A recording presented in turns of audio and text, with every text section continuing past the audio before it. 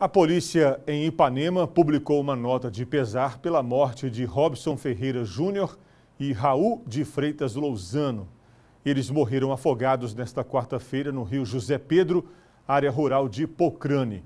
A corporação manifesta solidariedade aos parentes e amigos das vítimas e instaurou inquérito para apurar as circunstâncias desses dois afogamentos.